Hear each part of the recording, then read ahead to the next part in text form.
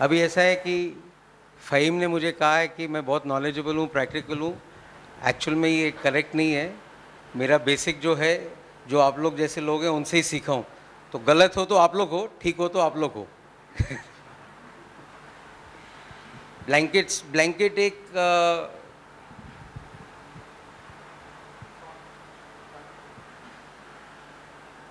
Blanket जैसे सब कुछ दूसरा इन्वेंट हुआ है, ये पढ़ना नहीं ज़रूरी। ये मैं आपको बता देता हूँ क्या लिखा हुआ है इसमें। ब्लैंकेट जैसे सब कुछ गलती से बना हुआ है, वैसे भी ब्लैंकेट का भी हिस्ट्री ऐसे ही है। पहले ये आप जानते हैं कि प्रिंटिंग होता था लिथोग्राफिक स्टोन से, जो एक डायरेक्ट प्रिंटिंग होता था। डायरेक्ट प्रिंटिंग होने का है कि एक पत्थर के ऊपर पेपर रखा, उसके ऊपर इम्प्रेशन लिया। मैं वो आपको दिखाता हूँ, ये। ये पत्थर है जो पहले बनते थे। ये पत्थर के ऊपर डिज़ाइन बनता था, इसके ऊपर इंकिंग होती थी। इंकिंग होने के बाद वो पेपर रखते थे और पेपर के बाद वो अपना इम्प्रेशन निकालते थे। तो जब ये प्रोसेस लिथोग्राफिक स्टोन का ऑटोमाइज नहीं हुआ, पर मैनुअल फीडिंग हो गया। हाँ। ये लिथोग्राफिक स्टोन का जो प्रोसेस जब मैनुअल फीडिंग में आया तो मैनुअल फीडिंग में जब पेपर मिस हो जाता था, जैसे लेटर प्रेस में होता है पेपर मिस हो गया तो हम उसको बाद में एक डालते थे। तो यहाँ पर जब मिस होता था तो ये बेसिकली एक सिलेंडर के ऊपर चलता था। लिथोग्राफिक स्टोन यहाँ रखा रहता था। ये मेटल सिलेंडर है जो आगे जाता है। यहाँ से मैनुअल फीडिंग होती थी। वो जो सिलेंडर है सिलेंडर के ऊपर एक स्पेशल कार्डबोर्ड था, जिसके ऊपर रबर कोटेड रहता था। तो वो रबर कोटेड रहने के कारण जो इंक यहाँ लगी थी, वो इंक रबर सिलेंडर के ऊपर आ जाती थी, जो कार्डबोर्ड पर रहता था। बहुत टाइम ऐसे होता था कि अगर ये जो आप शीट मिस हो जाती थी शीट डालते थे नेक्स्ट वाली, उसके ऊपर दोनों बाजू इम्प्रेशन आ जाती थी।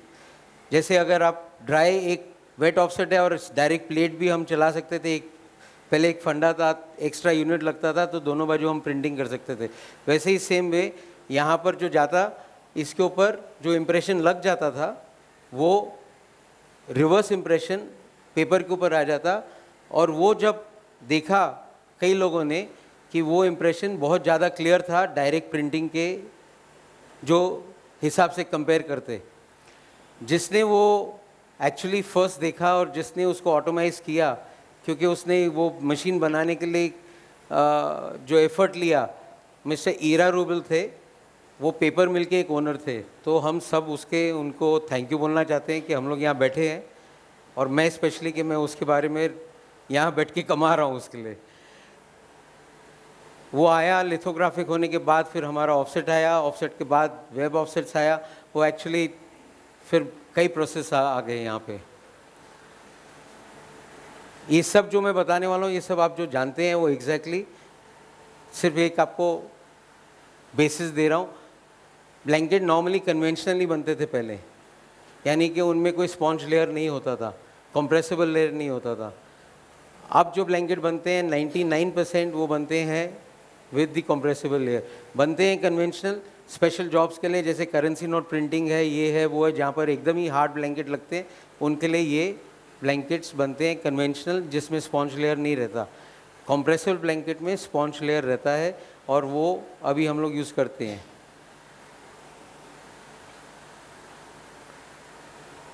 ब्लैंकेट बहुत तरीके के आते हैं। प्रिंटिंग के लिए है कोटिंग के लिए है जो प्रिंटिंग के लिए हैं, वो फैब्रिक बैग आते हैं मेटल बैग आते हैं। ये एक्चुअली एक ब्लैंकेट है जो डायरेक्ट स्टील प्लेट के ऊपर लगा हुआ है। वो न्यूज़पेपर्स में यूज़ होता है। सेल्फ अडेसिव आते हैं ब्लैंकेट जो सेल्फ अडेसिव ब्लैंकेट्स हैं, वो आप कंप्यूटर स्टेशनरी मशीन्स हैं, उसके ऊपर यूज़ करते हैं। जो सेल्फ अडेसिव ब्लैंकेट्स हैं आप आपके जो बियर कैंस हैं, आजकल वो, उसके ऊपर सेल्फ अडेसिव ब्लैंकेट्स लगते हैं। तो बहुत सारे ब्लैंकेट्स आते हैं। सेल्फ एडेसिव मैं सैम्पल्स लाए थोड़े, मैं पास राउंड करता हूँ।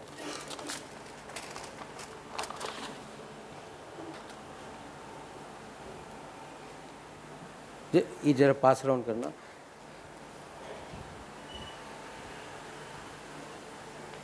ब्लैंकेट विदाउट बैग भी आते हैं, सिर्फ़ टोटल रबर ही है।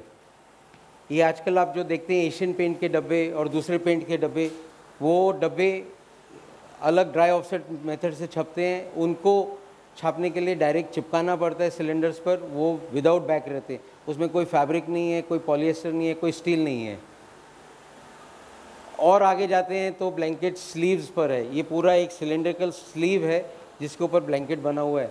ये खास बनते हैं वेब ऑफसेट के लिए। जैसे मेटल बैग आप देखते हैं दो नंबर वाला वो दो नंबर वाला ब्लैंकेट है आ, तीन नंबर मेटल बैग वो जाता है वेब ऑफसेट में। उनको कैप्स नहीं चाहिए रहते हैं जो प्रिंटिंग करते हैं रो, रोटरी प्रेस पे। सेम वे स्लीव के लिए उनको पेपर बचत है। जैसे टाइम्स ऑफ़ इंडिया ने अगर 10 लाख शीट छापे हैं 10 लाख इंप्रेशन लिए हैं तो उनको एक सेंटीमीटर भी बच गया आधा सेंटीमीटर भी बच गया तो उनके लिए बहुत हो जाता है। हमारे लिए हम ग्रिपर वे में ग्रिपर के साथ यूज़ करते हैं तो हमारे को फैब्रिक बैग चलता है और फैब्रिक बैग ही आजकल आज तक डोमिनेंट ब्लैंकेट है हमारे आ, इंडस्ट्री में। पॉलिएस्टर बैग ब्लैंकेट जो है, जो दूसरा नंबर आप देखते हैं, वो बेसिकली कोटिंग के यूज़ में आता है। अलग अलग थिकनेस आजकल जो मशीन्स हैं कोटिंग के ऊपर ज़्यादा बहुत ज़्यादा ब्लैंकेट्स लगते हैं और रिपीट जॉब्स के लिए लगते हैं। आज आपने जो किया प्रूफिंग उसका कल आपको वापस वही कोटिंग करना है, फिर वापस आया, जैसे फार्मा के जॉब्स हैं या चाय कार्टन के जॉब्स हैं या कुछ भी जॉब्स हैं। तो वो पॉलिएस्टर के साथ स्टेबलाइजेशन ज़्यादा रहती है, वो स्ट्रेच नहीं होता। आपने अगर फैब्रिक बैग लगाया, आपने एक टाइम यूज़ किया, निकाला, दूसरे टाइम यूज़ किया, तीसरे टाइम में वो स्ट्रेच हो जाएगा।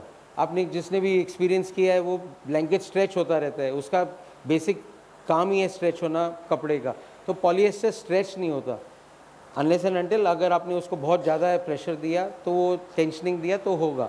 नहीं तो आप ये पॉलिएस्टर बेस्ड ब्लैंकेट है और मेटल बेस आते हैं कोटिंग के लिए, जो आप continuously for many repeat job आपने पाँच टाइम दस टाइम कितना भी आपने करना है नियरली पाँच से दस टाइम आप उसको रिपीट यूज़ कर सकते हैं। एंड रिज़ल्ट में वो बहुत सस्ता पड़ जाता है। ब्लैंकेट तीन इंक्स के लिए बनते हैं आजकल। एक है जो नॉर्मल ऑक्सीडेशन इंक्स है या रेगुलर इंक्स हैं आप बोलें, जो 80 परसेंट पब्लिक यूज़ करती है हमारे प्रिंटर्स में। दूसरा है यूवी इंक्स जो आजकल बहुत बढ़ गया है, जो प्लास्टिक्स के ऊपर यूज़ होता है, जो मेट मेटपेट के ऊपर यूज़ होता है, जो मेटलाइज बोर्ड के ऊपर यूज़ होता है, जो फास्ट ड्राइंग चाहिए हाई ग्लॉस चाहिए। कन्वेंशनल इंक्स के लिए आप यूज़ करते हैं नॉर्मल जो सरफेस रहता है, वो रहता है N B R N B R is nitrile butadiene rubber उसमें कलर जो भी डाला, वैसे कलर बन जाता है। यू इंक्स का 100 परसेंट टाइम जो रहता है ई एम वो ही रबर सरफेस रहता है। इंक अलग ही बनती है ई पी डी एम का रबर सरफेस रहता है, उसके ऊपर से इंक्स ट्रांसफ़र होती है और अच्छी होती हैं। आप यू इंक के लिए नॉर्मल ब्लैंकेट भी यूज़ कर सकते हैं, पर बहुत आप जानते होंगे कि वो स्वेल हो जाता है ब्लैंकेट वो चलता नहीं है ज़्यादा। तीसरा ब्लैंकेट जो बने हैं वो कॉम्बी ब्लैंकेट्स हैं या हाइब्रिड ब्लैंकेट्स हैं जो कि नॉर्मली वो बनते हैं एन बी आर रबर से पर उसके अंदर वो प्लास्टिसाइजेज और दूसरे केमिकल्स डालते हैं जो यू वी इंक को आ, ये करते हैं हेल्प मी जो वो वो इंक को एक्सेप्ट कर सकते हैं यू वी इंक्स को एक्सेप्ट कर सकते हैं। वो हाइब्रिड और कॉम्बी अभी थोड़े बहुत पॉपुलर होते जा रहे हैं, जहाँ पर क्योंकि ब्लैंकेट चेंज करने में बहुत टाइम लगता है तो ये ब्लैंकेट्स पॉपुलर होते जा रहे हैं। ब्लैंकेट का कंस्ट्रक्शन कन्वेंशनल ब्लैंकेट आपने देखा, उसके अंदर कोई स्पॉन्ज लेयर है नहीं, सीधा फैब्रिक लेयर है और रबर सरफेस है। इसके अंदर जो है, ये आपको ऊपर दिखाया है वो मैं बाद में बताता हूँ जो ये कंस्ट्रक्शन है इसमें फैब्रिक लेयर है कॉम्प्रेसिबल लेयर है वापस फैब्रिक लेयर है जिसको स्टेबलाइजिंग लेयर बोलते हैं और रबर सरफेस है। ये कॉम्प्रेसिबल लेयर दो तीन चीज़ के लिए यूज़ होता है। एक तो है कि आ, आपका जो प्रिंटिंग है उसका बेटर क्वालिटी आ जाए जबकि रबर सरफेस में उन लोग हार्डनेस या सॉफ्टनेस क्रिएट कर देते हैं। पर कंप्रेसिबल लेयर में अगर आपका डबल शीट चला गया या कुछ हो गया या पार्टिकल आ गया, ऐसा कुछ है तो ब्लैंकेट को बचा नहीं क्योंकि ब्लैंकेट अभी कोई सस्ता रहा नहीं, महँगा है तो उसको उन लोग एक रीजनेबल बनाने के लिए उन लोग ने कंप्रेसिबल लेयर का इंट्रोडक्शन किया है। ऊपर आप देखेंगे क्रॉस सेक्शन ऐसे ही है, ये रब, ये जो कंप्रेसिबल लेयर है दो तीन टाइप के आते हैं close cell structure open cell structure बनते हैं। कंप्रेसिबिलिटी वही सबसे अच्छी है जो जो जितने स्पीड पर चले, वहाँ पर ब्लैंकेट उतना रिबाउंड वापस आ जाए, अपना नेक्स्ट इम्प्रेशन आने तक। अगर उन्होंने वो ब्लैंकेट चला रहे हैं, आपने 2000 पर चलाया और वो अच्छा रिज़ल्ट दे रहा है, और अगर वही ब्लैंकेट आपने 10000 के ऊपर चलाया और वो रिबाउंड नहीं आ रहा है वापस ज़ीरो ब्लैंकेट है वो। ब्लैंकेट्स में पहले हम लोग बोलते थे तीन प्लाई या चार प्लाई वो प्लाई का सिस्टम अभी बहुत टाइम से चला गया अभी भी हम यहाँ यूज़ करते हैं प्लाई एक्चुअली प्लाई होता था कितने फैब्रिक्स हैं? जैसे एक, दो, तीन, चार, ये चार प्लाई हो गया, अगर हमने ये देखा यहाँ पर, ये तीन प्लाई हो गया, एक, दो, तीन, ये तीन प्लाई का हो गया। पर अभी आज के दिन में हम लोग जितना स्ट्रॉन्गर फैब्रिक लेंगे और जितना कम फैब्रिक लेंगे, उसमें हमने जितना कंप्रेसिबल लेयर ऐड किया, जैसे उनका रबर सरफेस बनाया, उसके हिसाब से हमारे को बेटर रहता है। इट वो मैटर नहीं करता। वो अगर सिंगल प्लाई के ऊपर है जैसे आपने देखा कि ये आ, इसके पास बैक ही नहीं है। इसके अंदर बैक ही नहीं है ये डायरेक्टली पूरा एक पॉलीओरेथिन का बना हुआ है।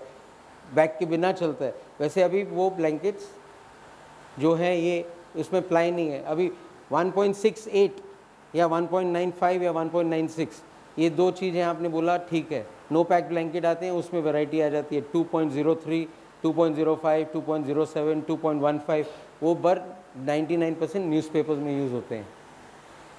सरफेस तीन तरह के आते हैं ब्लैंकेट में। एक ग्राउंड आता है एक माइक्रो ग्राउंड है और एक आता है कास्ट फिनिश कास्ट फिनिश होता था जो पहले बनते थे पेपर के साथ। रबर जो है cast coated paper mirror coat paper जो आता है उसके साथ वो लैमिनेट लैमिनेट नहीं एक्चुअली उसको फेस टू फेस रख के उसको रिवाइंड करते थे। रिवाइंड करने के बाद वो एक स्टीम चेम्बर में डालते थे। तो जो smoothness of the rubber coated surface है, वो आ जाता था इसके ऊपर रबर के ऊपर, जो पेपर का सरफेस है।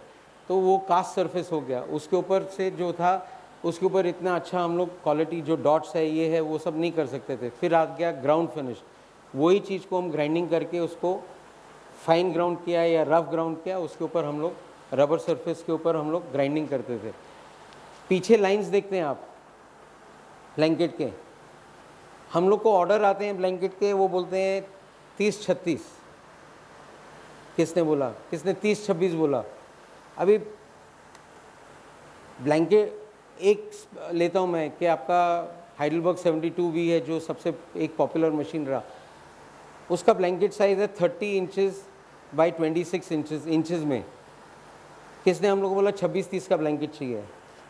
मैं, अगर मैं नहीं हूँ ऑफ़िस में और किसने वो 26 तीस आके भेज दिया और कट करके भेज दिया तो ब्लैंकेट ज़ीरो हो गया. क्योंकि 26 इंच का अगर लग गया ऊपर ग्रिपर और 30 इंच वो लंबा जा नहीं सकता क्योंकि उतना है ही नहीं सिलेंडर ये लाइन दो चीज़ के लिए बनी। एक है कि आइडेंटिफिकेशन हो जाए कि कौन किसका मैन्युफैक्चरर है? अगर ये रेड और ग्रीन लाइन है तो ये एक मैन्युफैक्चरर से है। डबल ब्लैक लाइन है तो वो दूसरे मैन्युफैक्चरर से डबल ग्रीन लाइन है सामने सामने वो दूसरे मैन्युफैक्चर ऐसे अलग है। गोल्डन लाइन है, दूसरे अलग लाइन से अलग मैन्युफैक्चरर से। और दूसरा है, कभी भी किसको आपने बोलना है, वो लाइन देखा आपने पीछे कि ये लाइन 26 इंच की है।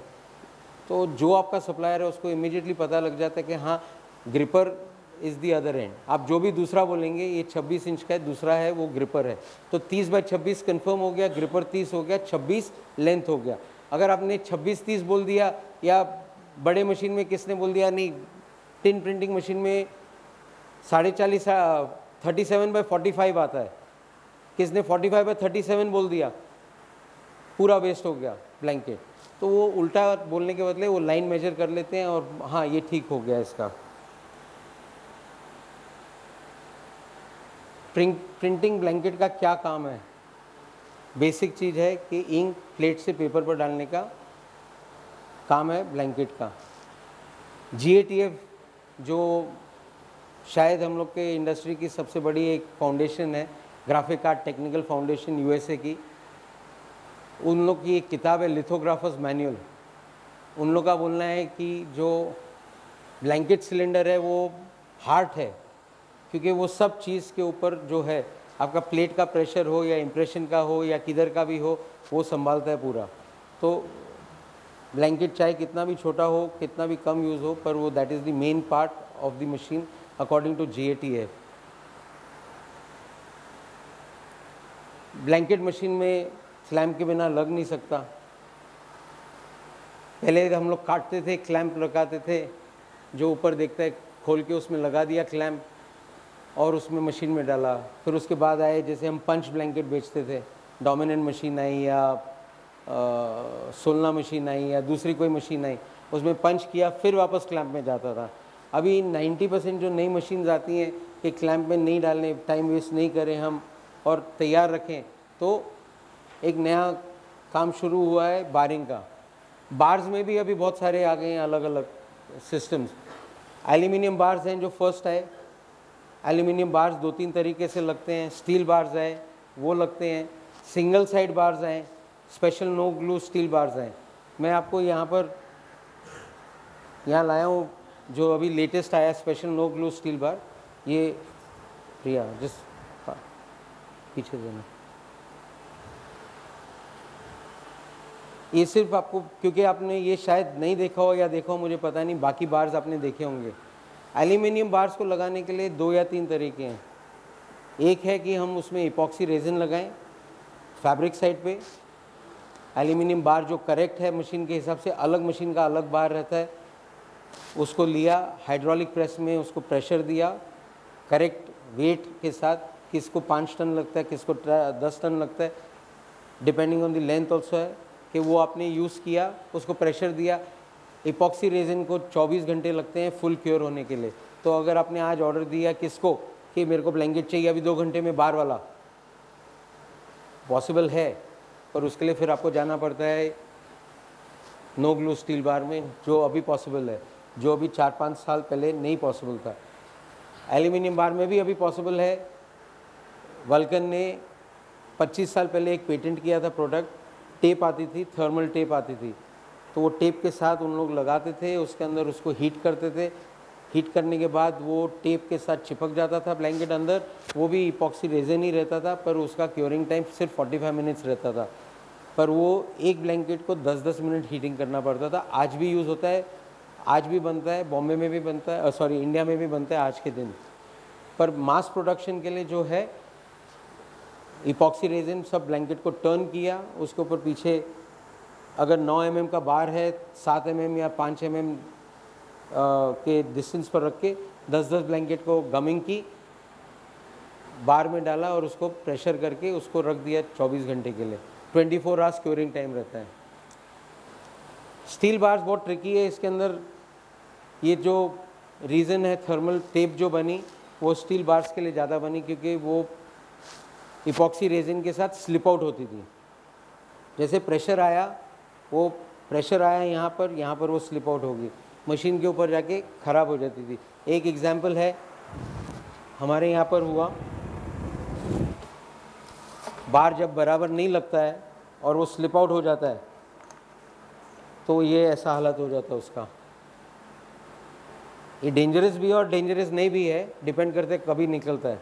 तो ये अगर बार बराबर नहीं लगता है तो इसके हिसाब से ऐसा हो जाता है, पूरा ब्लैंकेट इज़ ज़ीरो हो जाता है।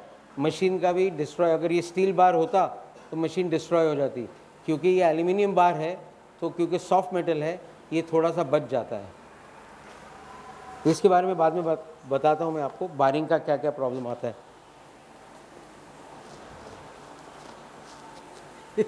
झगड़ा क्यों ना लो, Sanjay?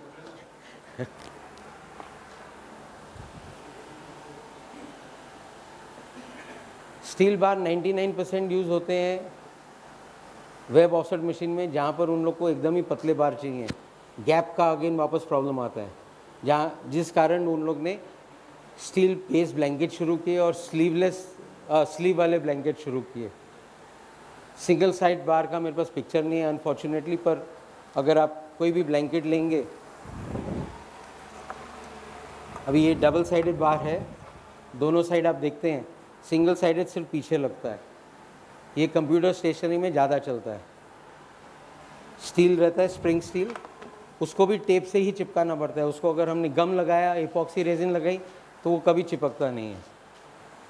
Special no glue steel bar अभी मैंने पास किया है। उसका एक एग्ज़ाम्पल यहाँ है। जैसे कि किसने हमारे को बोला कि हमारे को आधे घंटे में ब्लैंकेट चाहिए ही है। सब मशीन के लिए नहीं आता ये। ये लिमिटेड मशीन्स के लिए आता है। ये हमारे से, ये मेरे यहाँ बना है, पर ज़्यादा प्रेशर लग गया है तो ये क्या फॉल्ट्स आते हैं बार में, वो बाद में बताऊँगा। पर ये है special no glue steel bar ये आप देखेंगे जब भी तो आपको ये जो पंचेज हैं यहाँ पर, आपके पास जब पीस आएगा, ये इसके अंदर जाके पकड़ लेते हैं ब्लैंकेट को। और ये एंगल उनका ऐसा है कि जब भी वो चल रहे हैं तो बाहर नहीं निकलेंगे। ये सिर्फ़ सर्टेन मशीन्स के लिए अभी बने हैं, सब मशीन्स के लिए नहीं बने हैं। नेचुरली हाइडलबर्ग के भी है, जैसे मशीन्स हैं रोलैंड के लिए नहीं बने हैं। ये उन दो चार मशीनों के लिए आते हैं और थोड़े वेब वेब ऑफ़र मशीन्स के लिए।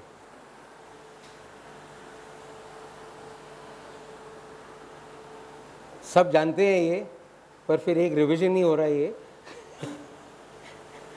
ब्लैंकेट स्टोर कैसे करने का? ब्लैंकेट अगर आप पास आता है नया मेहरबानी करके उसको अपने जैसे ही देखना कि हाँ संभाल के रखना, उसको फ्लैट रखना चाहिए या हैंग करके रखना चाहिए। हम लोग उसको न्यूज़पेपर में या कैसे डब्बे में पैक करके, गोल करके भेज देते और आपने वैसे ही रख दिया वहाँ। वो प्लीज़ नहीं करने का, उसको फ्लैट रखा या उसको हैंग करके रखा, वो सबसे ईजिएस्ट रहता है। ब्लैंकेट को फैब्रिक टू फेस अगर आपने थोड़ा सा टाइम रखा, दो दिन, चार दिन, पंद्रह दिन, एक महीना, ठीक है।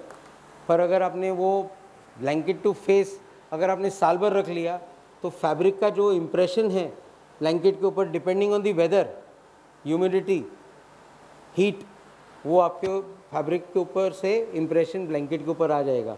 जब भी हम प्रिंट करते हैं तो हमारे को दिखता है कि फैब्रिक इम्प्रेशन आ रहा है और समझ नहीं आती है तो ये बाद में पता लगता है कि ये एक्चुअली हमने ब्लैंकेट ऐसे रखा था, इसके लिए आता है। ब्लैंकेट पे रबर है कपड़ा है अडेसिव है, और ये अडेसिव और रबर ये दोनों में इफ़ेक्ट होते हैं अगर आप सनलाइट के सामने रखते हैं। सनलाइट से सूख जाता है सनलाइट से जो उसके अंदर प्लास्टिसाइजर्स है, वो इफ़ेक्ट हो जाते हैं, और ह्यूमिडिटी से लेमिनेशन अडेसिव जो उसका जो, जिससे लेमिनेट होता है, और फैब्रिक है, वो स्ट्रेच होता श्रिंक होना शुरू हो जाता है।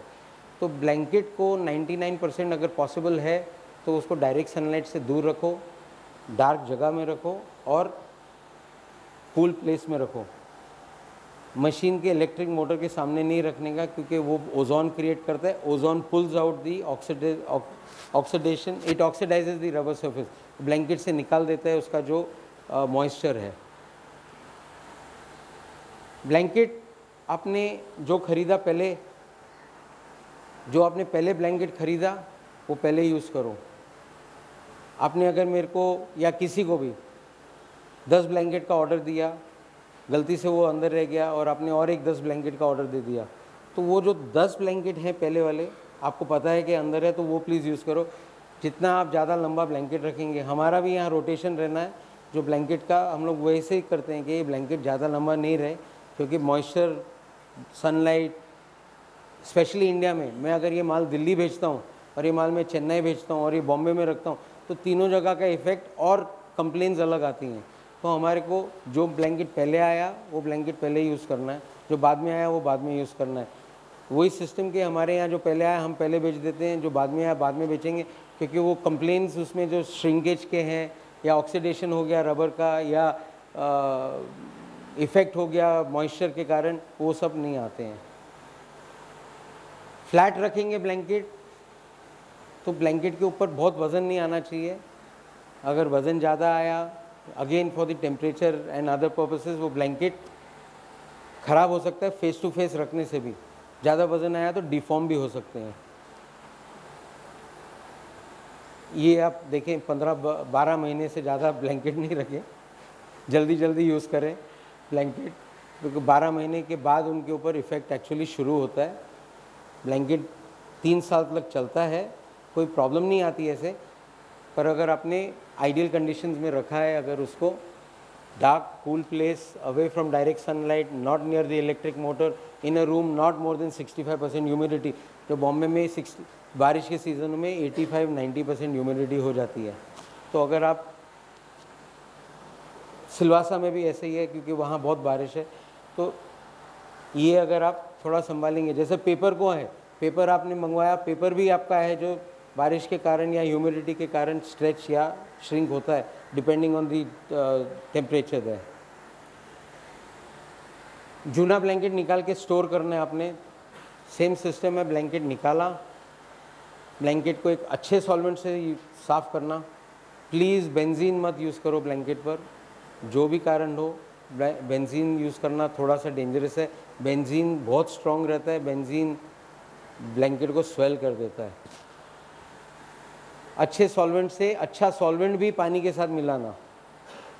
पानी के साथ मिलाने का एक ही अच्छा कारण है सॉल्वेंट को वो वीक कर देता है थोड़ा सॉल्वेंट इंक को निकालता है सॉल्वेंट जो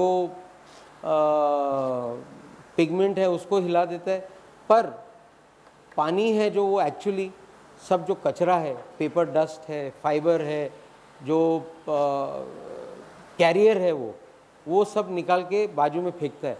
अगर सिर्फ़ सॉल्वेंट निकाला तो आपको समझो कि 100 ग्राम सॉल्वेंट लगेगा, पर अगर आपने पानी साथ मिक्स किया तो आप 100 ग्राम पानी और 25-50 ग्राम मिलीलीटर वो सॉल्वेंट यूज़ कर सकते हैं।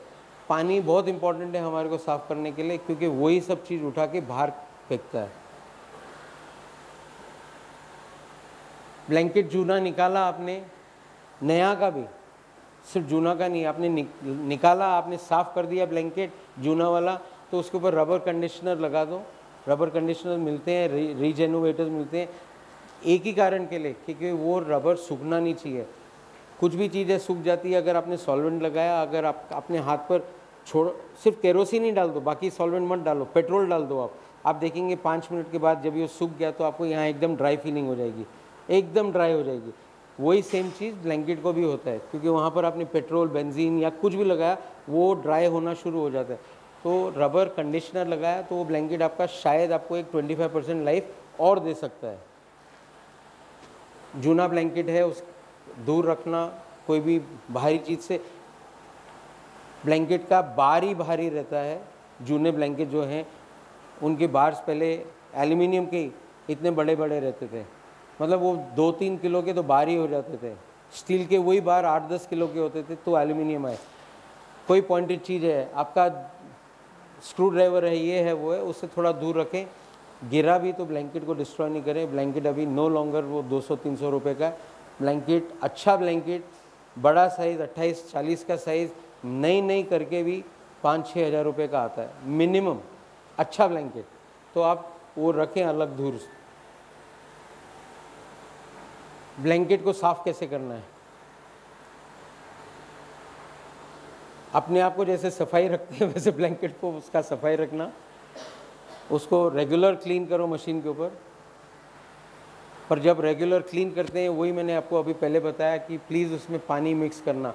Water helps as a carrier for removing the muck जो भी आपका दूसरा है इंक का भी मक है। इंक भी जो है, वो भी उसको कुछ कैरी करने के लिए चाहिए। मैं एक टाइम आप, एक फैक्ट्री में गया। उसको यूवी इंक यूज़ कर रहा था। यूवी इंक उसको निकालना है रोलर से। प्राइस वॉज़ द इशू कि ये मेरे को 200-250 रुपये का लीटर का नहीं चाहिए यूवी इंक का। बहुत महँगा आता है वॉश तो मेरे को 200-250 रुपये का नहीं चाहिए क्योंकि उसका कंजम्पशन 3000 लीटर है यूवी वॉश यूज़ का 3000 लीटर कंजम्पशन है महीने का। मेरे को उसने बोला कि मेरे को वॉश चाहिए जो मेरे को सवा सौ से डेढ़ सौ रुपये में बैठे। इम्पॉसिबल है वो। तो क्या करें? तो मैंने जो केमिस्ट के साथ बात की, उसने एक ही मुझे कहा, बोला कि इसमें थर्टी परसेंट सॉल्वेंट डालेंगे एक्स्ट्रा स्ट्रॉन्ग और उसमें सेवेंटी परसेंट वाटर डालेंगे। वो थर्टी परसेंट केमिकल दो अलग है टेन परसेंट और ट्वेंटी परसेंट जो साफ़ करेंगे, उसमें से टेन परसेंट है जो एक्चुअली साफ़ करेगा ट्वेंटी परसेंट है जो पिगमेंट्स निकालेगा और पानी है, उसको गिरा देगा उसमें से। तो ही वो साफ़ हो सकता है। नो अदर थिंग पानी का इतना इम्पोर्टेंस था उसके अंदर कि मैं वो सेवेंटी परसेंट वाटर उसको एक्चुअली दे रहा था थर्टी परसेंट उसमें सिर्फ़ एक्चुअल सब्सटेंस था। पानी वो पूरा मग निकाल देता है। उसको मग को छोड़ने के अलावा स्ट्रॉन्ग सॉल्वेंट आपने यूज़ किया, जैसे मैंने अभी उसको, जो केमिस्ट को पूछा था उसका नेगेटिव इफ़ेक्ट है, वो कम कर देते हैं। वाटर मिक्सेबल सॉल्वेंट होना चाहिए, वो नेसेसरी अगर वाटर मिक्सेबल नहीं है तो वो अपना असर दिखाएगा ही प्लीज़ वापस एक चीज़ है ब्लैंकेट निकालने के बाद या नया ब्लैंकेट भी हो तो उसको अगर आपने समझते हो कि अगर छः महीना रखना है, जैसे अगर यहाँ से बाई चांस किसने फैक्ट्री लगा दी है, जहाँ पर ब्लैंकेट पहुँचने को ही महीना, डेढ़ महीना लग जाए तो वहाँ पर कंडीशनर रीजेनुएटर जो भी है, आपके पास उसको ब्लैंकेट को कंडीशन करके रखना। डी ग्लेजर यूज़ करते रहना ब्लैंकेट को, क्योंकि जो भी आपने यूज़ ब्लैंकेट में पिगमेंट्स हैं, वो जाके अटक जाते हैं। कैल्शियम है जो आजकल एक नया बहुत बड़ा प्रॉब्लम है, क्योंकि पेपर मेकिंग ही पूरा चेंज हो गया। पहले पेपर बनता था एसिडिक एसिडिक प्रोसेस से, अभी बनता है एल्कली प्रोसेस से। तो ये पेपर का जो कैल्शियम है इंक में जो कैल्शियम लगता है, वो सब आने के बाद जो आता है अंदर, उसका एक असर अलग है। उसके बारे में हम लोग एक पाँच मिनट बाद में बात करेंगे। डी ग्लेज़र पीरियोडिकली यूज़ करो। हफ़्ते में आपको संडे छुट्टी है तो सैटरडे को डी ग्लेस करके डी ग्लेस का एक प्रोसेस है, उसको लगा के पाँच मिनट, दस मिनट छोड़ना, उस पर इफ़ेक्ट हुआ, पानी से धो के, पानी यूज़ करना ही, जो क्योंकि डी ग्लेज़र का ये पूरा निकलना चाहिए, नहीं तो डी ग्लेज़र भी काफ़ी स्ट्रॉन्ग होता है, उसके साथ भी वो ख़राब हो सकता है। ब्लैंकेट यूज़ करने के पहले क्या करना है? मेरे से आए या किधर से भी आए ब्लैंकेट ज़रूरी नहीं है कि वो ब्लैंकेट का डायमेंशन करेक्ट है। क्योंकि आदमी से गलती होती है, आपसे होती है, आपसे होती है, सबसे होती है। वैसे जो भी है, जिससे भी है, उन लोग करते ही है गलती। तो ब्लैंकेट आए प्लीज़ आप एक प्रॉपर स्केल से मेजर करो, जो आपको चाहिए एक्चुअल अगर वो ब्लैंकेट नहीं है करेक्ट काटने वाटने के पहले ही आप बता दो, वो ईजी रहेगा कि आपको नया ब्लैंकेट आ जाए।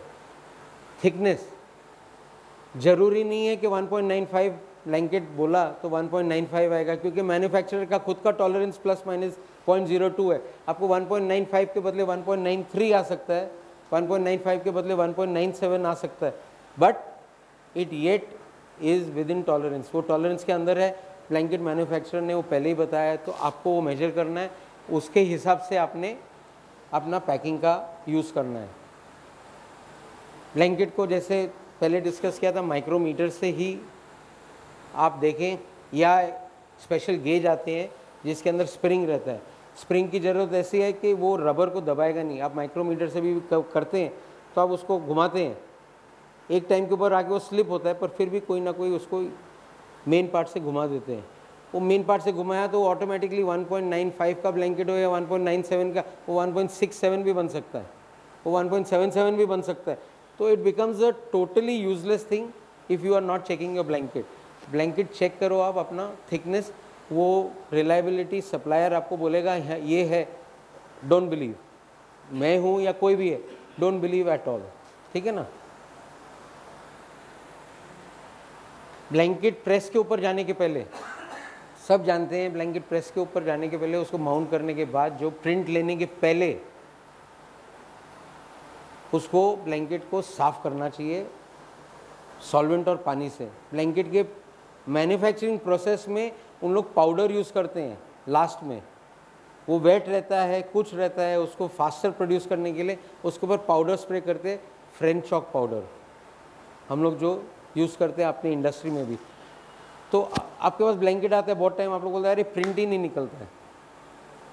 मैं बोलता हूँ, नया ब्लैंकेट है प्रिंट कैसे नहीं निकलता? आप बोलते हो प्रिंट ही नहीं निकलता है जूना ब्लैंकेट डाला उसमें प्रिंट आ गया। पर वो पाउडर रहता है उसके ऊपर। तो आप उसके ऊपर पहला फ़र्स्ट चीज़ है, जब उसको आपने माउंट किया ब्लैंकेट को तो वो ब्लैंकेट को आप प्लीज़ पानी और एक अच्छा वॉश मैं रिपीट करता हूँ अच्छा वॉश क्योंकि जो आप जैसे जैसे प्राइस के ऊपर इंसिस्ट करेंगे वैसे वैसे उन लोग, या तो एलिफैटिक केमिकल या तो एरोमेटिक इतना मैं पूरा जानता नहीं हूँ इसके अंदर, पर हमारे अच्छे वॉश के लिए एलिफैटिक जो बेस है सॉल्वेंट का, वो यूज़ होना चाहिए, जो रबर को बचा के रख सकता है और अच्छा साफ़ कर सकता है। थोड़ा टाइम लगता है उसमें, पर वो साफ़ अच्छा होता है। एरोमेटिक है कि वो रबर को बैंड बाजा बजा देगा और आप का सफ़ाई वो जल्दी करेगा स्वेलिंग होगा, वो सब कुछ होगा। तो अच्छे वॉश के लिए आपको एलिफेटिक बेस सॉल्वेंट चाहिए, जो आपको यूज़ करना चाहिए, आपके ब्लैंकेट के लाइफ के लिए भी।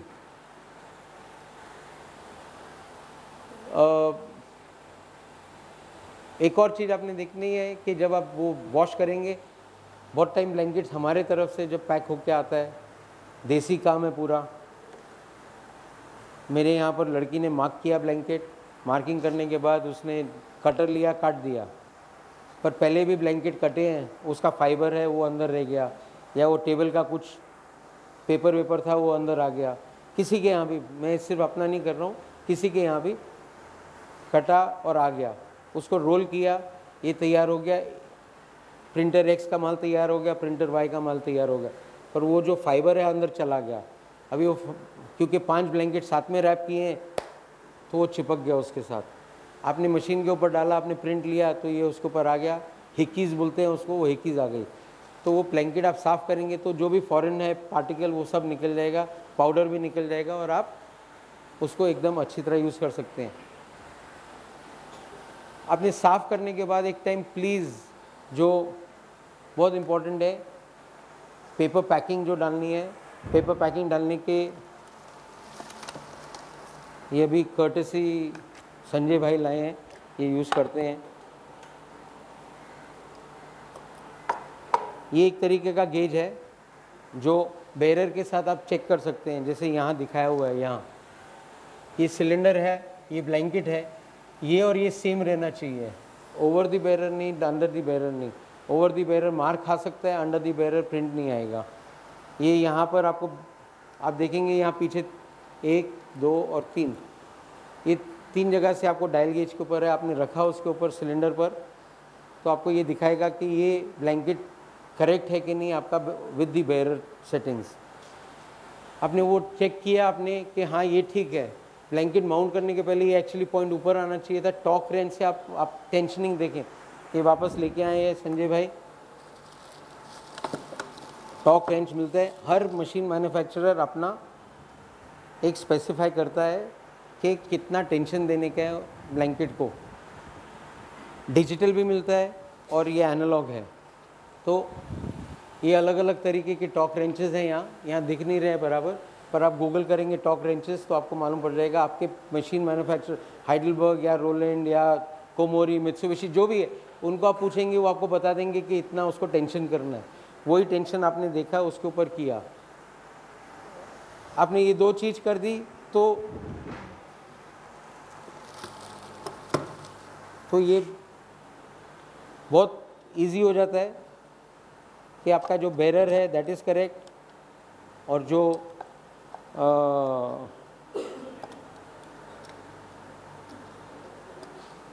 और जो टेंशनिंग है वो करेक्ट हो गया।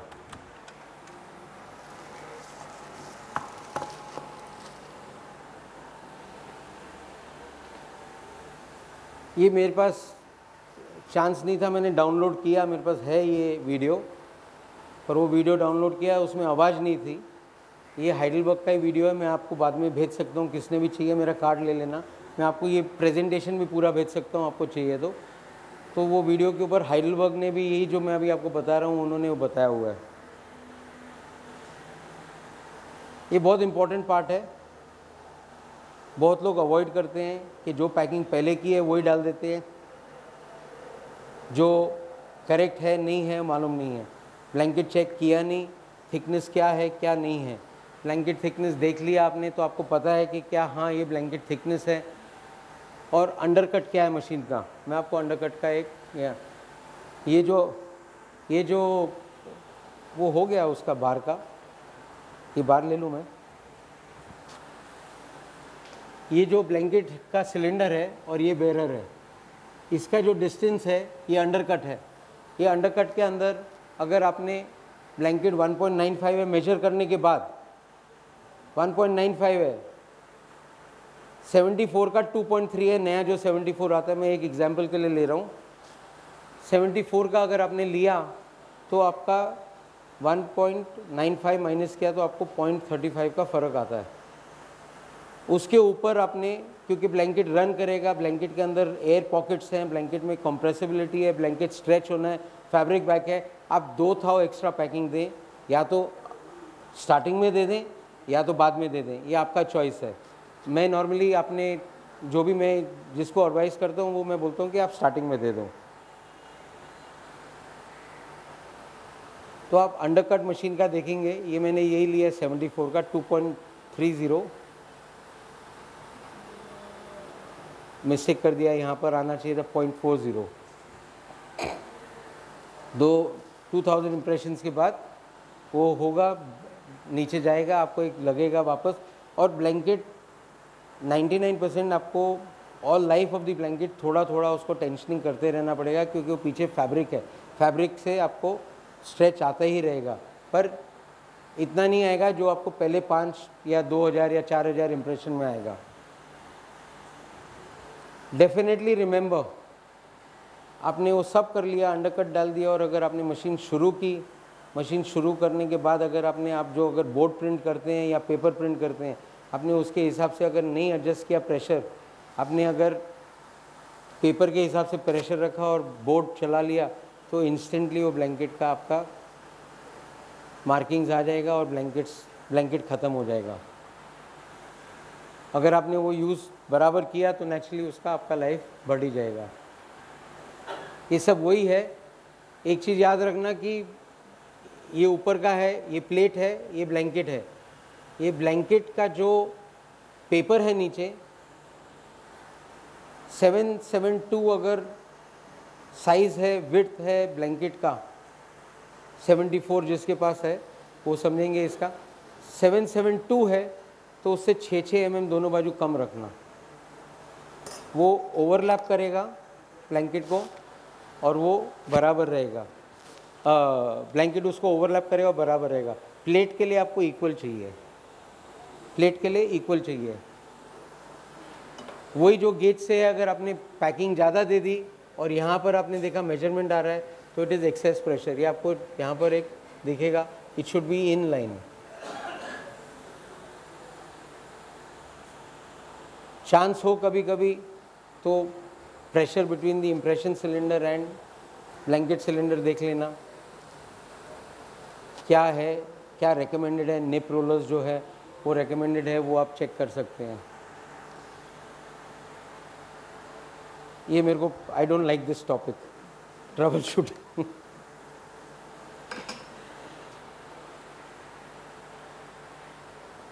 ये रन थ्रू करता हूँ। किसको कोई स्पेसिफिक प्रॉब्लम है तो वहाँ खड़े होंगे।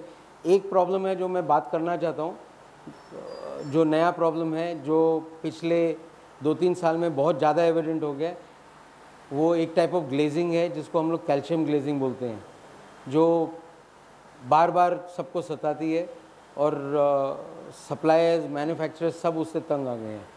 खैर ब्लैंकेट सरफेस वेयर होता है तो उसका एक पॉसिबल कॉज रेमेडीज आप मेरे को अगर आपका ईमेल एड्रेसेस देंगे तो मैं आपको ये जो है पूरा, इससे बहुत ज़्यादा है। मैंने एक लिमिटेड अमाउंट लिखा है यहाँ पे। तो और ये नेट के ऊपर है, ये मेरा कोई बनाया हुआ नहीं है, ये नेट के ऊपर है, मैं आपको वेबसाइट दे सकता हूँ, आप डायरेक्ट उसके ऊपर भी देख सकते हैं पूरा। Blanket off edges of the blanket lift from the under packing इसको फ्लेयर बोलते हैं, सबका एक नाम देना चाहिए। जो अगर हमने पैकिंग को काटा नहीं तो वो नीचे नहीं जाएगा। पैकिंग को सेम रखा तो वो बराबर रहेगा। ब्लैंकेट को ज़्यादा टेंशन किया तो ब्लैंकेट यहाँ बीच में से तो खींचेगा ही पर ब्लैंकेट साइड से ऊपर आ जाएगा। तो उसको फ्लेयर बोलते हैं। सेकेंड कलर पिकअप, जो प्रिंटिंग करते समय पानी ज़्यादा हो गया, वो स्क्वीज़ प्रेशर ज़्यादा हो गया तो आपका सेकेंड कलर पिकअप है। कोई एग्जैक्टली exactly किस, इसके ऊपर किसको डिस्कस करना है, कोई इसके ऊपर तो स्टॉप कर देना, हम लोग उस पर डिस्कस करेंगे। क्योंकि there are some important points in this some are not important in this glazing एक बहुत इंपॉर्टेंट पॉइंट है। इसमें एक्चुअली ये ग्लेजिंग है जो सबसे इम्पोर्टेंट है। पर ये हम लोग एक दो मिनट लेते हैं इस पर। जो मैंने आपको स्टार्टिंग में भी बोला था ब्लैंकेट आप जब भी नया आता है, उसके ऊपर पाउडर रहता है टैल्क फ्रेंच चॉक पाउडर रहता है। मैन्युफैक्चरिंग प्रोसेस है। तो आए वो प्लीज़ उसको साफ़ कर लो। दूसरा एक है जब भी हम लोग बोलते चमक आ गया ब्लैंकेट पर। अभी कम आता है पहले बहुत आता था क्योंकि तभी फाउंटेन सोल्यूशन गम के बेस, बेस पर बनते थे। अभी इतना नहीं है पर फिर भी गम आ जाता है ब्लैंकेट पर चमक आ जाती है तो प्रिंट नहीं जाता है उस पर। प्रिंट नहीं जाता है तो उसको सिर्फ़ वार्म वाटर से साफ़ करना गम मेल्ट होगा उससे निकल जाएगा। स्प्रे पाउडर या पेपर साइजिंग है उसको सिर्फ़ साफ़ कर देना क्योंकि स्प्रे पाउडर गिरता है फिर वापस वो ब्लैंकेट नहीं प्रिंट हो सकता। हो सकता है, पर पैचेस में होगा। उसको blank wash the blanket and wash the blanket with solvent and water सब चीज़ के लिए वही है wash blanket and solvent with blanket with solvent and water जब प्रिंट करते हैं आप, आपका पिगमेंट है वार्निश है, वो ब्लैंकेट के अंदर जाता है, वहाँ रह जाता है। उसको निकालने के लिए वही है कि फ्रीक्वेंट वॉश करना है। जब प्रिंट नहीं आता है एक्चुअली उसको ग्लेजिंग बोलते हैं, पर वो प्रेशर इनसफिशेंट है। जब पैकिंग नहीं बराबर है, जब आपने प्रेशर एडजस्ट नहीं किया है, उसको भी एक तरीके का ग्लेजिंग बोलते हैं। Calcium glazing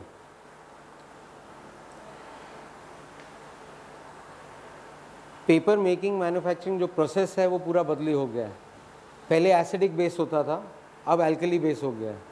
Calcium carbonate is use as the filler in it. जो आप कोटिंग है आपका, उसके ऊपर, पूरा ब्लैंकेट के ऊपर, वो आप देखेंगे दैट इज़ नॉर्मली कैल्शियम और मैग्नीशियम ब्लैंकेट के लिए ही नहीं फाउंटेन सोल्यूशन के लिए भी इंक के लिए भी, हम सब के लिए वो बीमारी सब वहाँ से आती है, जो कैल्शियम पानी के अंदर आता है। अभी कैल्शियम इज़ इनसॉल्यूबल वो पानी में पिघलता नहीं है तभी वो जाके ब्लैंकेट के ऊपर आता है तभी वो जाके फाउंटेन सोल्यूशन में जाता है। फाउंटेन सोल्यूशन में गया तो उसका पीएच इफ़ेक्ट करता है क्योंकि कैल्शियम एल्कली रहता है। आपको चाहिए पीएच इतना 4.7, 5.5 या 6 आपने जो अपना एक सेट किया है।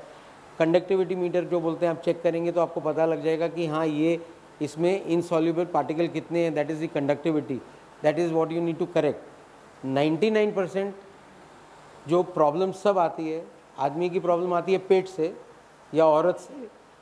और दूसरा आता है, अपना प्रिंटिंग लाइन का आता है, पूरा पानी से फाउंटेन सोल्यूशन से।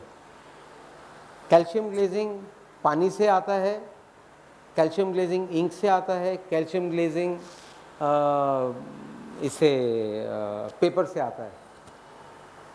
जब हम यूज़ कर रहे हैं, पानी थोड़ा पेपर को लगता है पानी का जो क्वालिटी अगर एक एरिया में इन सिलवासा में हार्ड वाटर है, अगर इन्होंने ट्रीटमेंट नहीं किया न्यू बॉम्बे में पानी अच्छा है म्यूनिसपालिटी का, पर उसके अंदर अलग है सिस्टम उसके अंदर इन कैल्शियम है, वो ट्रीटेड नहीं है पानी। ट्रीट ये ट्रीट किया है but calcium is not so dangerous एक लेवल तक उन्होंने ट्रीट करके दिया है।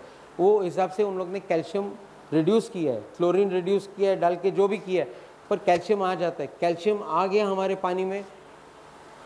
नेक्स्ट स्टेप है, वो पानी ढूंढता है, उसके अंदर क्या मिनरल कम है। अगर कैल्शियम कम है तो कैल्शियम ढूंढता है। अगर मैग्नीशियम कम है तो मैग्नीशियम ढूंढता है। अगर आयन कम है तो आयन ढूंढता है। पर वो ढूंढता है अपने आप को बराबर बनाने के लिए करेक्ट बनाने के लिए। तो वो 99 परसेंट ऐसे होता है, उसमें कैल्शियम अगर ज़्यादा है तो कैल्शियम बाहर फेंकने की कोशिश करता है या अट्रैक्ट करता है। इंक में है, वहाँ कैल्शियम है पेपर में है, वहाँ कैल्शियम है, फाउंटेन सोल्यूशन में जो पानी आता है, वहाँ कैल्शियम है।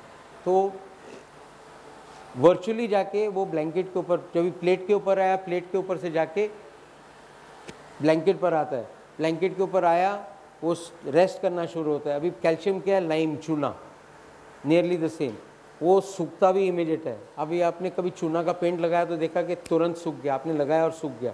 पर ये एकदम फाइन ग्राउंड है। तो वहाँ गया, वो ब्लैंकेट के ब्लैंकेट का जो फेस है या रबर रबर का है, आपने रबर रोलर के ऊपर देखा होगा, सफ़ेद हो जाता है, थोड़ा टाइम यूज़ करने के बाद। वो एक्चुअली कैल्शियम उसके ऊपर बैठा हुआ है। अगर आप मैग्नीफाई मैग्नीफिकेशन ग्लास के नीचे देखेंगे तो रबर सरफेस ऐसा आपको दिखता है।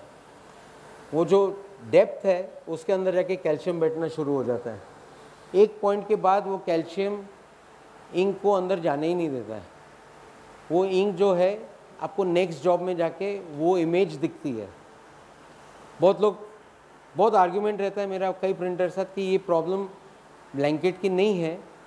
ब्लैंकेट के ब्लैंकेट को छोड़ के आप ये तीन चीज़ टेस्ट करो, आपका ये पूरा सब काम ठीक हो जाएगा। आपका पीएच जो है, आप चेक करो एक टाइम तो आपको पता लगेगा कि कैल्शियम पानी में कितना आ गया है, क्योंकि उसका पीएच पूरा बदली हो जाएगा। ये जाके ग्रूव्स में बैठ जाता है, उसके ऊपर इंक कम होती जाती है, कम होती जाती है, एक टाइम के ऊपर वो इंक पकड़ता ही नहीं है। इंक पकड़ता है, पर वो जो नेक्स्ट जॉब आता है, उसमें ओल्ड आपको आता है ये प्रॉब्लम किसको? आता है ये। तो ये आपको एकदम चेक करने का है कि ये पहला आपका पानी करेक्ट है कि नहीं। पानी करेक्ट है नेक्स्ट स्टेप है, अगर आपका जो पेपर है, उसके ऊपर से आप अगर बोर्ड प्रिंट करते हैं बोर्ड के ऊपर लाइट वेट कोटेड है, उसके ऊपर से जो है, अगर वो गुड कैल्शियम है गुड अच्छी तरह नहीं उसको कोटिंग किया हुआ तो वो निकल के इसके अंदर आएगा और वो पानी के अंदर से ब्लैंकेट पर आएगा। ब्लैंकेट के ऊपर से वो नेक्स्ट जॉब के ऊपर जाएगा। ब्लैंकेट का कोई रोल नहीं है इसमें। इसमें एक ही चीज़ ब्लैंकेट कर सकते हैं, उसको रफ ग्राइंडिंग कर सकते हैं। पहले ब्लैंकेट्स आते थे, आज से पाँच साल पहले, आजकल ज़्यादा ज़्यादा उन लोग फाइनर करते हैं ग्राइंडिंग ब्लैंकेट को। ब्लैंकेट को अगर थोड़ा रफ ग्राइंड किया, उसको डेप्थ है जो थोड़ा डीप बनाया तो ब्लैक कैल्शियम जाके यहाँ नीचे बैठेगा। अगर उसको हमने रफ नहीं फाइन बनाया तो इमिडिएटली जाके कवर कर देगा। तो एक ही तरीका है कि हम लोग उसको अवॉइड करें। ये अभी पैकेजिंग में कमर्शियल में ओल्ड जॉब न्यू जॉब में प्रिंट हो रहा है, उसका दिख रहा है इम्प्रेशन ये बहुत आना शुरू हो गया। इसके लिए ये दो वेबसाइट हैं, ये ये दिख रहा है क्या? ये ये वेबसाइट है। मैं आपको ये भेज सकता हूँ वेबसाइट। इसके ऊपर भी आप जाके पढ़ेंगे। कनाडा से एक कंपनी है यूनिक कैम या ऐसा कुछ है। दूसरा, ये हाइडलबर्ग का है वेबसाइट के ऊपर। Calcium glazing is become a big problem worldwide हम लोग को उसके लिए एक इलाज है, वाटर ट्रीटमेंट प्लांट। महँगा नहीं है, पर वो पानी जो आता है, वही सोर्स के ऊपर हम लोग अगर पानी को ट्रीट करके निकाल दें, कैल्शियम कम कर दें आएगा कैल्शियम फिर भी क्योंकि वो पेपर हम लोग कुछ कर नहीं सकते हैं और आ, इंक को भी हम लोग नहीं संभाल सकते। पर जो बेसिकली पानी में से आना है वो कम होएगा। नेक्स्ट है कि हमारे को इंक मैन्युफैक्चरर और पेपर वाले को बोलना है कि ये हम लोग को प्रॉब्लम आ रहा है। वो प्रॉब्लम तभी ख़त्म होता है। सैपी का साइट है S A P P I बहुत बड़ा पेपर मैन्युफैक्चरर है फ्रॉम स्वीडन आप सिर्फ़ जाके कैल्शियम प्रॉब्लम विथ पेपर आप टाइप करें गूगल में। आपको उसका एक पाँच पेज का राइटअप आ जाएगा। मेरे पास है राइटअप पर वो पाँच पेज आपको पढ़ा के बहुत प्रॉब्लम आ जाएगा। आप वो देखेंगे calcium glazing causes a lot of problem. One of them is the coast image that comes into the next job. Hickeys ये आपने मेरे यहाँ से ब्लैंकेट आया, मैंने साफ़ नहीं किया, मेरे यहाँ से बराबर नहीं आया। आपके यहाँ पर आपने साफ़ नहीं किया तो ये प्रॉब्लम आ सकती है।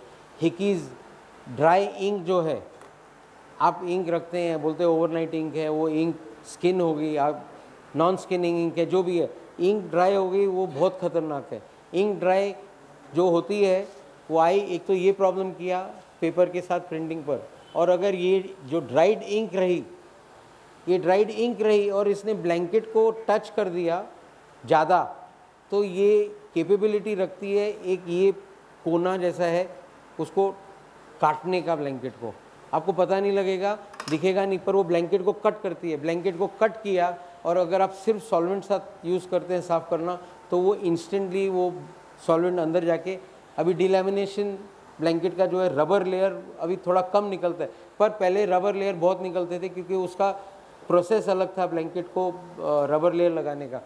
वो हिकी जाएगा ब्लैंकेट का सरफेस कट करेगा, उसके अंदर आपने आपके जो आदमी ने उसको साफ़ किया, वहाँ पर एक ड्रॉप एक बूंद पानी और वॉश का जो है वहाँ रहा। प्रेशर के हिसाब से वो अंदर गया, दूसरा बूंद गया, वो जाके एक लाइन आपको एक लाइन में दिखेगा वो जाते हुए। फिर उसके साथ हवा आती है, हवा के साथ वो फिर स्प्रेड होता है। एक लाइन जाएगी और यहाँ जाके ऐसा बड़ा होएगा रबर फट गया। डीलेमिनेशन होता है। ये इतना डेंजरस है ड्राई इंक जो है। तो आपके इंक रोलर में भी इंक जो है सूखी उसको आपने नहीं साफ़ किया तो वो ब्लैंकेट को आके असर करेगी। रबर को तो करेगी रबर रोलर को पर ब्लैंकेट को भी करेगी।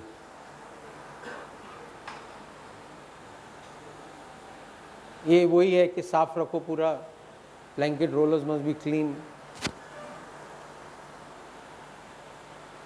embossing ये एक और प्रॉब्लम आ गया है। One of the reason is also calcium UV ink जो यूज़ करते हैं, उनको बहुत ज़्यादा आएगा ये प्रॉब्लम और मेटेलिक यूवी करते हैं, उनको और भी ज़्यादा आएगा प्रॉब्लम वो रबर ब्लैंकेट और यूवी इंक और मेटेलिक यूवी इंक एक दुश्मन के जैसे हैं. वो जाके अंदर ही बैठ जाता है. उसको लाइट लगती है, वो वहीं क्योरिंग शुरू हो जाता है उसका. हम लोग रियलाइज़ नहीं करते, हम लोग सोचते हैं येलो लाइट है, पर फिर भी जो लाइट है, उसके साथ वो क्योरिंग होता है, वहाँ पर जाके अंदर बैठते हैं. उसके ऊपर लेंट आता है पेपर का जो डस्ट है, आता है, फिर दूसरा आता है, वो एक जाके एक बड़ा अच्छा मस्त ब्यूटीफुल एम्बॉसिंग हो जाता है. उसको फील किया तो एकदम ब्यूटीफुल रहता है। ये ये भी ये भी होता है। इसका एक ही इलाज है frequent cleaning of blanket blanket when you are printing if you are having this job also you have to check the pressures अगर आपका प्रेशर ठीक नहीं है तो भी एक प्रॉब्लम है। पर ये एक बहुत जो है कि आपका इंक अंदर जाता है और यूवी इंक में तो बहुत ज़्यादा ये वो प्रॉब्लम चालू हो गई है यूवी इंक जाएगा, वहाँ पर पकड़ेगा, वो क्योर होती है, उसके ऊपर डस्ट बैठेगा डस्ट अंदर जाएगा, उसको निकालना इम्पॉसिबल होता है। यूवी ब्लैंकेट जो यूज़ करते हैं हमारे यहाँ से, वो हमारे बेस्ट कस्टमर्स हैं।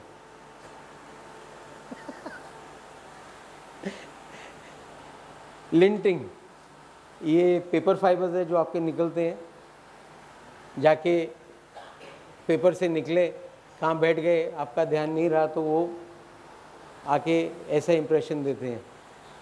ये वापस सब सब चीज़ का इलाज है, अपने आप को साफ़ रखना, वैसे ही ब्लैंकेट को साफ़ रखना है। There is no other way to it chalking ink का जो बेस है, वो ब्लैंकेट वो पेपर अब्जॉर्ब कर लेता है और जो उसका ऊपर का पिगमेंट है वो नहीं करता है। वो ब्लैंकेट के ऊपर भी रह जाता है पेपर के ऊपर भी जो है वो रह जाता है, वो निकलता है। वो पिगमेंट जो है उसको बोलते हैं हम लोग चॉकिंग इंक को आपको करना पड़ेगा क्योंकि इसमें ब्लैंकेट का आता है तो ये मैंने एक छोटा सा डाल दिया। ब्लैंकेट के साथ इसका ज़्यादा रिलेशन नहीं है, पर ब्लैंकेट के ऊपर भी रह जाता है उसका पिगमेंट का असर थोड़ी देर के बाद। आपको उसको ड्राई ड्रायर एक फास्टर ड्राइंग करना है या इंक जो है थोड़ी पत, आ, मोटी करनी है तो वो बहुत जल्दी अंदर पेपर के नहीं जाए। पिकिंग पिकिंग है जो आपका पेपर खींच लेते हैं। इंक जब भी बहुत कड़क है बहुत हार्ड है तो उसको सॉफ्ट करो या प्रेशर बहुत ज़्यादा है नहीं है तो ब्लैंकेट के ऊपर असर है। ब्लैंकेट ज़्यादा सॉफ्ट है और पेपर एकदम हाई क्वालिटी का है तो उसको हार्डर ब्लैंकेट यूज़ करो। एक फॉर्मूला है हम लोग जो यूज़ करते हैं मेटल प्रिंटिंग में लेते हैं हम लोग। टिन जो छापता है, उसको हम लोग देते हैं थोड़ा सॉफ्टर ब्लैंकेट एल्यूमिनियम जो छापता है, उसको हम लोग देते हैं थोड़ा हार्डर ब्लैंकेट वही सेम चीज़ पेपर के ऊपर है। पेपर के ऊपर थोड़ा सा सॉफ्टवेयर चलेगा बोर्ड के ऊपर थोड़ा हार्डर चलेगा। डिपेंड करता है आपका कैसा है, उसके ऊपर अपने करना है। नॉर्मली ब्लैंकेट 80 शोर हार्डनेस के वहाँ, सब चीज़ के ऊपर चलता है और अच्छा रिज़ल्ट देता है।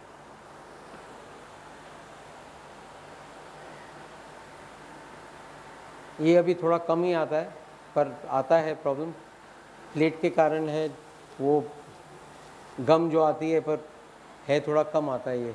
Part of the image on the plate does not accepting blanket के साथ नहीं है, पर ये प्लेट के साथ है। मॉटलिंग यहाँ पर इंक ज़्यादा जाती है, यहाँ पर कम जाती है। उसका क्या है प्रॉब्लम बेसिकली ब्लैंकेट का प्रॉब्लम नहीं है कि आप बोलेंगे, अरे, यहाँ पर इंक यहाँ पर ज़्यादा आ रहा है प्रेशर या, कम इंक दिख रही है या ज़्यादा दिख रही है। वो ब्लैंकेट के साथ ज़्यादा करके लेना देना नहीं है। अगर वो स्टॉक लॉट ब्लैंकेट है तो हाँ वो प्रॉब्लम है। वो ब्लैंकेट का स्टॉक लॉट के अंदर आपको यहाँ गेज कम हुआ, यहाँ गेज ज़्यादा हुआ, यहाँ पर कुछ अलग, वो अलग चीज़ हो जाती है। पर बेसिकली वो इंक है, उसका ग्राइंडिंग नहीं हुआ अच्छी तरह, जो उसके अंदर ड्रायर डाला है। वो ड्रायर मिक्स नहीं हुआ इंक वाले से तो वो इंक उसने अच्छा ड्राई मिक्स करके आपको देना है तो इवनली जाए। नहीं अगर वो बराबर है, अच्छी रेप्यूटेड कंपनी से है तो वो प्रॉब्लम नहीं है। नॉन रेप्यूटेड कंपनी का है तो वो प्रॉब्लम है। दूसरा चीज़ है कि आपका पेपर ही बेसिकली फॉल्ट पर रहेगा 99 परसेंट क्योंकि वो अनइवन रहेगा उसका कोटिंग तो इधर यहाँ ज़्यादा जा रहा है, यहाँ कम जा रहा है। ब्लैंकेट का इसमें असर कम आता है। ये मॉडलिंग का एक सापी यही है जो पेपर की कंपनी इसका बहुत बहुत बढ़िया है वेबसाइट इसके अंदर आप देखेंगे ना शायद प्रिंटर टेक करके उसका। एक्सेलेंट वेबसाइट ये सब जो मैं यहाँ दिखा रहा हूँ जो बता रहा हूँ, जो लिखा है, वो तो टोटल इंटरनेट से है सैपी से है ट्रेलरबर्ग से है किनियो से है। मतलब सब ब्लैंकेट मैन्युफैक्चर से थोड़ा थोड़ा लिया हुआ है। और ये जो है सापी वाले का एक्सेलेंट वेबसाइट है, उसको ज़रूर देखिए आप।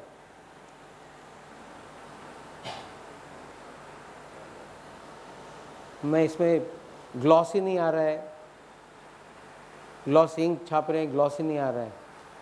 पेपर आपका ज़्यादा मैट है ब्लैंकेट का इसमें कोई असर नहीं है। या वो इंक ज़्यादा अब्जॉर्ब कर रही है। सिर्फ़ ये ब्लैंकेट के ऊपर से ट्रांसफ़र हो रहा है तो ब्लैंकेट को ब्लेम आने से पहले ये एक चेक कर लेना। कि आपका पेपर जो है एक्चुअल ग्लॉस है मैट है, क्या है? और उसके ऊपर इंक ज़्यादा अब्जॉर्ब तो नहीं हो रहा है उसमें। अन अनइवन सॉलिड अगर आपका मेन चीज़ है ये, अगर पैकिंग जो है ब्लैंकेट के नीचे नॉर्मली सॉफ्टर पैकिंग रहती है प्लेट के नीचे हार्डर पैकिंग रहती है। ब्लैंकेट के साथ जो कनेक्टेड है, मैं उसका डायरेक्ट आपको बता रहा हूँ। अगर आपने एक टाइम पैकिंग देख ली और वो पेपर पैकिंग है तो देन यू आर सेफ़ फिर आप दूसरा पैरामीटर्स आप चेक कर सकते हैं। वो एक बेसिक चीज़ है इसके अंदर ब्लैंकेट के साथ। नहीं तो उसके बाकी सब है। ये भी जो, जहाँ से मैंने उठाया पूरा, वो वेबसाइट का नाम आपको देता हूँ मैं। वहाँ पर पूरा आपके पास एक डिटेल रहेगा। स्मैश पेपर आपका क्रीज्ड है। Under packing crease paper packing creased है। पेपर पैकिंग स्लिप हो गया है, वो सब देखने के बाद, वो चेक करने के बाद, आपका दूसरा है फ़र्स्ट चीज़ जो है, वो आपके अगर मल्टीपल शीट्स चले गए नहीं तो फिर उसके अब अंडर पैकिंग पेपर पैकिंग है, क्या बोलते हैं साथ में आ गया है फास्ट रनिंग के कारण साथ में आके बैठ गया अगर वो, उससे वहाँ पर आगे आके स्मैश हो गया ब्लैंकेट रजिस्टर नहीं हो रहा है। एक कारण है कि आप लोग का रजिस्ट्रेशन ठीक नहीं है, दूसरा है कि ब्लैंकेट लूज़ है, और तीसरा है कि हमारे यहाँ से ब्लैंकेट स्क्वायर कटा नहीं। तो इसके लिए वो जो पहला पॉइंट आपको बोला था प्लीज़ जब ये आए तो आप एक टाइम देख लेना। ब्लैंकेट करेक्ट है विथ करेक्ट है लेंथ करेक्ट है और स्क्वायर है। सबसे अच्छा तरीका ब्लैंकेट स्क्वायर है देखने का है। ब्लैंकेट को आपने लिया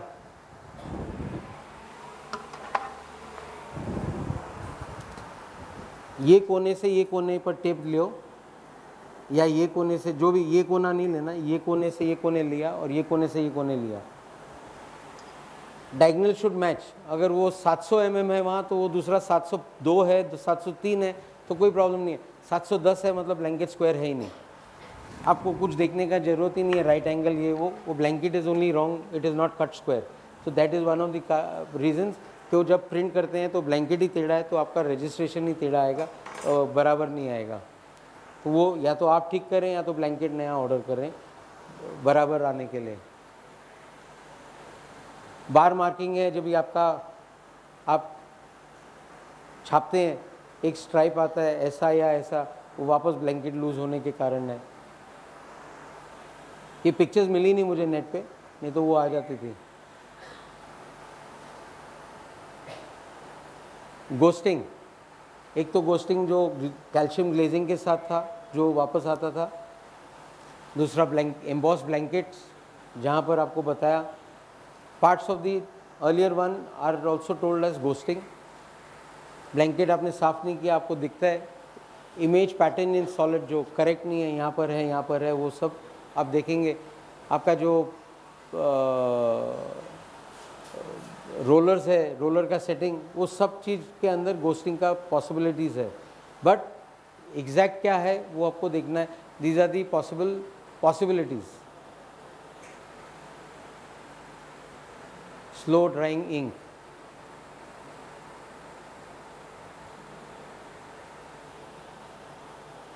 blanket साथ नहीं है कंसर्न पर ब्लैंकेट के चैप्टर में था। कमिंग प्लेट के साथ है कंसर्न ब्लैंकेट साथ नहीं है पर क्योंकि आखिर में ब्लैंकेट के साथ ही आता है पूरा आ, असर प्रिंटिंग के ऊपर तो ये प्लीज़ चेक करें। प्लेट आपका बराबर है पीएच करेक्ट है इंक ठीक है। पानी तो नहीं ज़्यादा चढ़ रहा है डैम्पनिंग डैम्पर्स आपके साफ़ है। टिंटिंग अगर आपका जो इंक है और पानी आपका ज़्यादा चल रहा है तो इंक और पानी मिक्स होता है। वो रंग अपने आप ऐसे चढ़ने लग जाता है आ, पेपर के ऊपर ब्लैंकेट के ऊपर जाता है एकदम लाइट वो आके पेपर के ऊपर आता है ब्लैंकेट से। तो आपका पानी कम चलाएँ paper coating and fountain solution contains too much wetting agent. पर ये टिंटिंग का ब्लैंकेट के साथ सिर्फ़ ट्रांसफ़र करने के लिए है। पर बेसिक प्रॉब्लम है इमल वो पानी और इंक मिक्स का।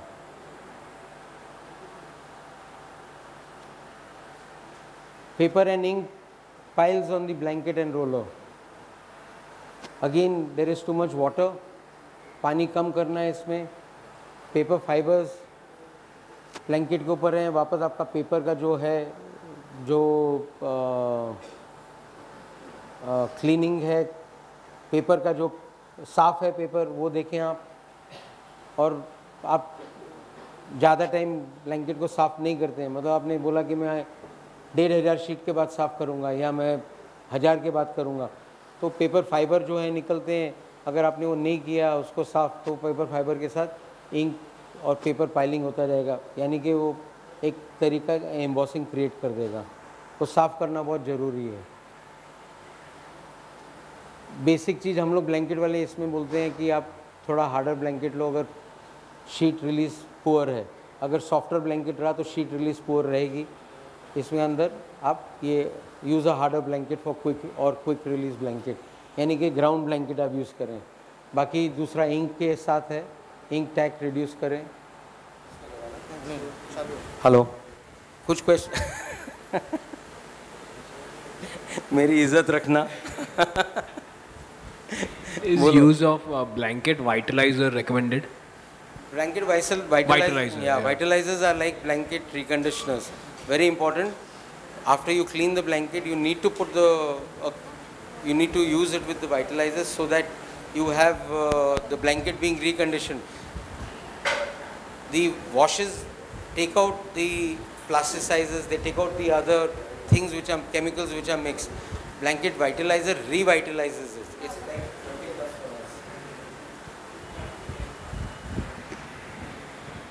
Fly separation. Ply separation वही है जो आपको मैंने बताया था कि अगर एक टाइम सॉल्वेंट अंदर चले जाए या सॉल्वेंट पीछे से भी ज़्यादा जाए, आपने एक्सेस सॉल्वेंट यूज़ किया, पानी के साथ नहीं यूज़ किया, ये पानी इतना इम्पोर्टेंट हर पार्ट में आप देखेंगे तो वो ब्लैंकेट सॉल्वेंट जो है सॉल्वेंट वो ब्लैंकेट के जो लेयर्स को चिपकाता है प्लाइस को चिपकाता है, उसको खाते रहता है अगर आपकी ब्लैंकेट की लाइफ वैसे ख़त्म हो गई तो ठीक है, अगर ब्लैंकेट लंबा चलना है और उसके कारण आप वॉश से साफ़ कर रहे हैं तो वो प्लाइस को साइड साइड से खाते जाएगा। आप ब्लैंकेट निकालते हो आप साइड में आप, आपको बहुत इंक मार्क्स दिखेंगे। न्यूज़पेपर्स में तो पूरा ही भर जाता है क्योंकि उन लोग इंक वॉश एकदम ज़्यादा यूज़ करते हैं पर हमारे इसमें भी पैकेजिंग में या कमर्शियल में वॉश शुड बी 50 परसेंट और वाटर शुड बी 50 परसेंट आपका ब्लैंकेट का life definitely twenty five thirty percent वैसे ही बढ़ जाएगा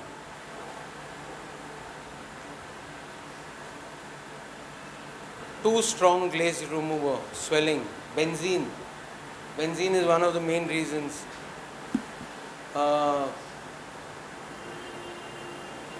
basically uh, if you are washing the blankets again with the solvent and leaving the solvent on it or leaving the benzene on it some people have seen are using M- कोई कोई मैंने देखा है कि M के use करते हैं उसके ऊपर।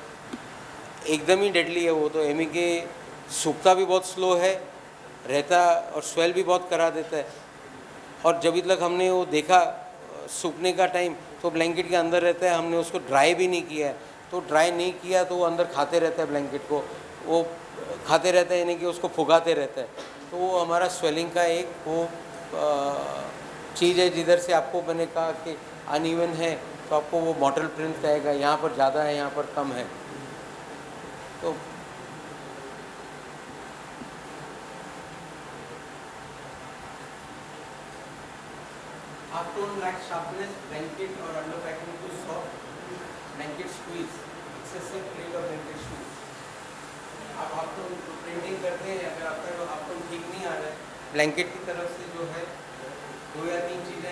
पैकिंग आपकी जो है, पैकिंग बहुत नरम है। आपने अगर समझो, वन एम पैकिंग डालनी है। जूने मशीन्स में 3.2 रहता था हाइडलबर्ग जैसी मशीन में। उसमें 1.95 रहता था ब्लैंकेट और बाकी हम पेपर पैकिंग सब डालते थे। तो उसके अंदर हमने पेपर पैकिंग अगर हमने 0.4 की थ्री पीसेज ले लिए तो वो अलग बात है। अगर हमने 0.22 के बहुत सारे ले लिए तो वो बहुत सॉफ्ट हो जाता है, क्योंकि एवरी पेपर पैकिंग के बीच में भी हवा रहती है। हवा रहेगी, वो दबेगा सॉफ्ट होएगा, और आपको ये हाफ़ ब्लैंकेट की तरफ़ से, जो पैकिंग की तरफ़ से, वो अनइवन रहेगा, क्योंकि हवा इक्वली बाहर नहीं गई है। यहाँ पूरी चली गई है, और यहाँ नहीं गई है तो वो थोड़ा सा अनइवन रहेगा। ये साफ़ नहीं किया ब्लैंकेट फाइलिंग हो गई, उसके कारण है और ब्लैंकेट का प्रेशर जो है प्लेट का और ब्लैंकेट का ज़्यादा है तो वो ब्लैंकेट ख़राब आपको देगा, कम है तो वो आपको ख़राब देगा डॉट का आपको शेप ही पूरा बदली हो जाएगा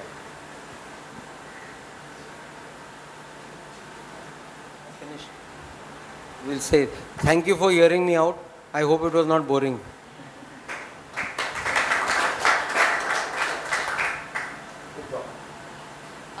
On behalf of BNPA and uh, Print Week and GIPT, I would like to thank everyone for your attention and especially Nitin sir, uh, Joseph and Mr. Pandian for their time and efforts. Uh, the next session of uh, Sikho and Samjho will be at SIAs on 11 December. Uh, it is on how to take good care of your rubber rollers. Hope to, hope to see you all there. Thank you.